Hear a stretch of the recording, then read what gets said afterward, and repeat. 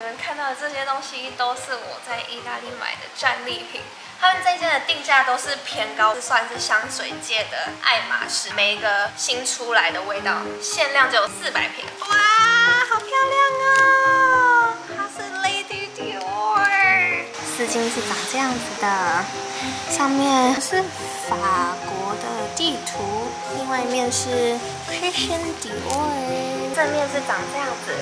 好，现在请我的 model 试杯给大家。Hello，大家，我现在已经回到美国啦。然后你们看到的这些东西都是我在意大利买的战利品。我现在呢就是要一个一个跟你们分享。反正里面有从最小到我觉得最大的战利品。过去几天在意大利，我们有去了罗马、比萨、古语岛、威尼斯，还有米兰。但是呢，我买最多的地方就是在米兰站，因为米兰就真的就是 shopping 的天堂，而且在意大利我们可以买到欧洲的定价，欧洲定价好像就是比较算便宜的，然后又可以退十二趴到十五趴的税，超级划算，所以就买很多东西。那我们就废话不多说，我们从第一个东西开始吧。嗯，我想要先从明信片开始讲。这是我们在第一站罗马买的明信片。我们已经去完这些景点的时候，我们就路过一家店，然后上面卖的明信片都超可爱，就是那种手绘感。这个是罗马竞技场，这个是 Trevi Fountain，然后还有万神殿。我再快速给你们分享一下。这几张呢是我们去威尼斯买的明信片，真的好美哦！就是我现在看到这些画面，都还是有那种很深很深的画面感，像是我们真的走过这些景点，看得到我们在这些明信片里面。好，接下来呢，这是我们在米兰买的香水。反正这一间店呢，它就是全球就只有四间店，网络可能都买得到啦。但是如果说要实体店的话，只有四间。这间的名字我也 我也不会念，但是它叫这样子。然后它里面有一百瓶的味道可以给你闻，它是分成五区的，就是不同的质调啊味道给你去一瓶一瓶闻。他们这间的定价都是偏高，我应该觉得它是算是香水界的。爱马仕就是真的是最高最高的等级。我们现在先从最小瓶的开始好了，我真的好期待哦！那我们来开箱喽。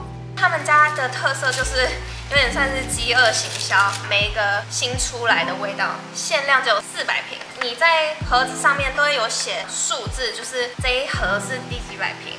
他们四百瓶卖完就会再调新的味道出来了。他们的盒子是不是超美？超有质感的，然后他们用这个胶带把它锁起来了。那我就打开喽。我刚刚打开了，好酷哦！这一瓶小瓶呢是我们去米兰我第一天买的香水。我那时候就想说，哦，那我就买小瓶一点的。然后这一瓶的味道是买 floral 的，但是它这 floral 是很清新的味道，因为我现在就尽量不想要买就是太花调的味道。它这是 floral 呃 citric，它是有点 combination of jasmine，然后还有一些像是木质调的味道，然后有一点花香在里面。哇，有贴这个套子，哇，这一瓶真的是好香啊！我要试喷，它有种很舒服的味道，就很像是房间里面。或者是刚洗完澡出来的那种，哇，然后就是很干净、很清新。第二罐大罐的，这是我第二天又再回到同一间香水店买的。然后这个零三五呢，它就是它的编号第三十五瓶。这一瓶我买的它是 musk，它是超级超级超级微妙、很不明显的味道。店员说是可以当 base 来用。就等于说，你可以来叠加在其他香水上面，因为我自己是蛮喜欢，就是那种几乎闻不出来你有喷香水的感觉。它这一瓶就是这样子的感觉，它喷上去啊，店员说有些人闻得到这个味道，有些人却闻不到，就还蛮特别的。它就是超级舒服的一个那种，就是新生宝宝味，我也不知道怎么形容，因为。香水这个东西就是很主观，然后有时候也不知道要用什么样的形容词来形容。可是真的是我觉得会每一天喷的，所以我这个味道才买大罐。接下来进到我们第三罐，这是 Eric 买的，这是他算是第二瓶真真正的香水吧。他原本进去的时候他没有打算要买，然后后来也是就闻到自己很喜欢的味道，所以就买下来了。我就帮你开箱喽。它这颜色真的是跟前几瓶差很多，因为它这颜色蛮黄的，可能是味道比较重。那它这一瓶呢？它选的是偏檀香味。我自己本身就很喜欢香水，所以我每次去到百货公司啊，或者是什么特别的香水店，我都会停下来，然后就是试闻。Eric 也是每次都会跟着我一起逛，然后他逛了这么多，真的是被这一瓶烧到。那时候就试闻了嘛，结果他就哦，我真的好喜欢这个味道，结果他就买了大瓶的，最大瓶。这三罐就是我们在米兰买的，然后还有一罐是这个，它这是 Mason Margiela 出的香水，然后这个袋子是他们付的，就是一个布的袋子。那这个是我帮我台湾朋友买的，这个朋友的，所以我应该就不打开了。它这个味道是 Whispers in the Library 这一家的香水，我自己也有一瓶。真的是蛮喜欢的，然后这个应该是偏中性的香水。今天的香水开箱就是这几瓶，那我们要进到下一个开箱单元喽。下一个就是我买的行李箱 Remova。如果你们不知道发生什么事情的话，你们可以去看我上一个 Vlog。我在意大利第一站才刚下飞机到意大利的时候，我的行李箱。它就缺了一个轮胎，可能是被摔烂了，所以就逼不得已，我真的要马上去买个行李箱，不然真的没有办法推。所以我就去 Remova 店买了这个黑色的。我买的不是铝的，因为铝的摔久啊，就是这边都会东凹一块西凹一块，就我就不喜欢。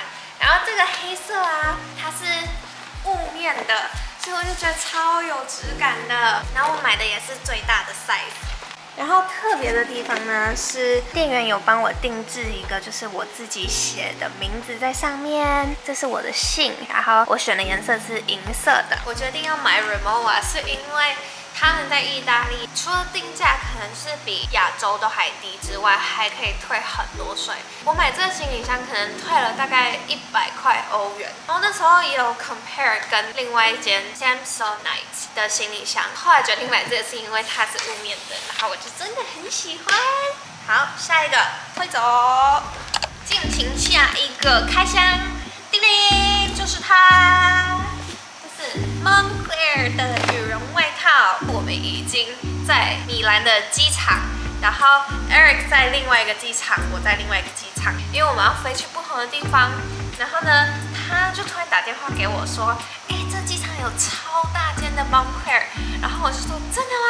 然后呢，他就帮我去看了几件羽绒外套，所以我们就是用电话联络，然后去选了这个外套。然后那个店员人就超好，店员就帮我试穿每一件我想看的外套，然后不同的大小啊、不同颜色、不同材质，店员都人很好，就直接就是让 Eric。拍照拍他穿起来的样子，然后传给我看，所以我就是这样子慢慢选到我最喜欢的外套。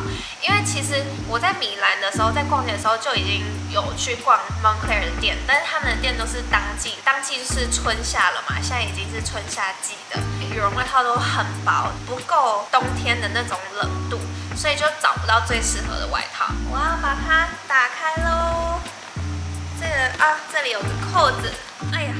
因为我选的算是，嗯，正常版型，但是它好像有 cover 到一点点大腿，我其实也不知道，因为我也没试穿过。那我现在就直接现场试穿一下。我买的是白色，它其实我没有到很怕它会脏掉的原因，是因为它是亮面的，所以可能就比那种布的啊比较好布一点。超级厚的，它这个羽绒量是多少啊？一百二十 G 的羽绒量。所以就真的是很足够冬天的时候穿。我现在就来试穿了，好期待！我真的没有看过我穿起来是什么样子，希望是好看的。怎么样啊，大家？看起来好看吗？我现在没有办法感受到它到底暖不暖，因为这边我现在身体是热的。但是型怎么样啊？还好是合身。好喜欢哦！给你们近看一下，它这是亮面的材质，然后。这边店员说这边是可以放地铁票的，所以去纽约那种地方应该蛮适合。我会选这一款是因为它的口袋是有拉链的，所以就不用害怕就是别人偷摸你的手机啊，就真的还蛮赞的，两边都有，耶，好喜欢哦，跳回去，好喜欢，好喜欢。那帽子可以拆掉。啊，对，这款帽子可以拆掉，它亮面也可以比较防水吧，我在猜。它也可以丢洗衣机，但我应该是不敢丢，好恐怖哦！大家，你们等到最后一刻了，我想要来开箱它们。我们现在先来开箱这一箱，这一箱应该是 Eric 的，但我也不确定，我们就当做开彩蛋，看看这是什么？是谁的啊？哦，开到我的了，我们就来开这个吧。哇，好漂亮哦！它是 Lady Dior，小小的，这是我第一款 Dior 包。我先这边应该是它那个吊饰，所以我现在先把它打开。这个这个有没有很可爱？超可爱的！这个打开好，等下可以试背给你们看。有附一条链子，我觉得它链子戴起来的时候啊，背起来也很好看。那我现在先装起来。啊！大家，我们来试背吧。然后斜背的话是这样子的感觉。那时候选包包的时候，我们每个人穿的不同风格，然后每个人都试背了，然后已经确保就是它很百搭。现在穿这样应该也蛮百搭的吧？好，啊，我们现在来就是试看看手提的感觉是怎么样。叮铃，是不是也蛮优雅的？那我们现在就先试看看这个手机放进去之后可以放多少东西。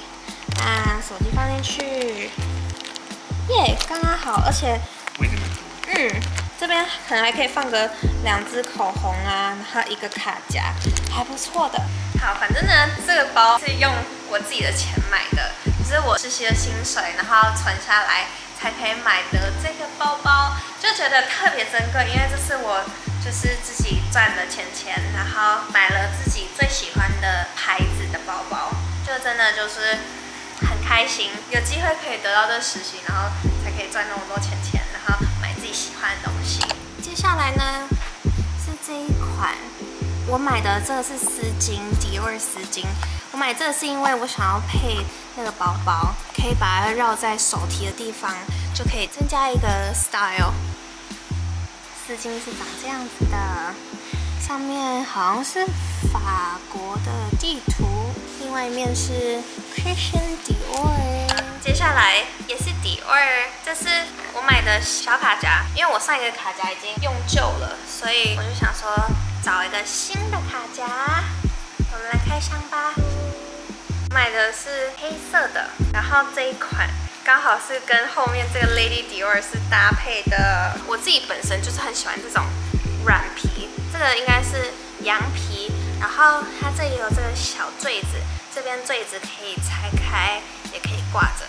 然后它这个卡夹里面有一层、两层。三层、四层、五层，现在人真的就是越来越少带现金嘛，尤其是在欧美这边，就大家都是用信用卡或者是直接用手机付钱，所以我觉得这小卡夹就是真的就是很轻巧，也很方便，就出个门然后就放在口袋里面，或者是放在那种很小的包包也都放得下。我们今天开箱的最后一个东西就是这个底味包包，Another bag，but 这个不是我的，是 Eric 的。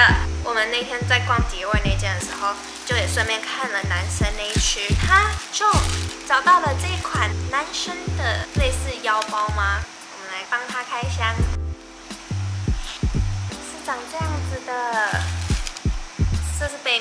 后正面是长这样子。它这是比较低调的，因为它的颜色是跟背景色是一样的，然后它这是。经典的花纹就是这样子的，它也算是马鞍包的造型在这边，但是也不是完全马鞍包，所以我就觉得这一款比较不会退流行，因为万一马鞍包真的退流行的话，至少还有这个背包可以背很久。好，现在请我们的 model 试背给大家看，背起来的感觉是这样子，然后这边呢可以调整长度，这边写 cushion Dior，然后打开它的空间是这样子，也是可以装手机啊，然后充电器、护照什么的。还有一个特别的地方就是它这边也是一个小拉链。拉链里面可以装零钱或者是一张信用卡之类的，我觉得背起来就是看了很顺眼，也不会看腻，就还蛮适合男生的。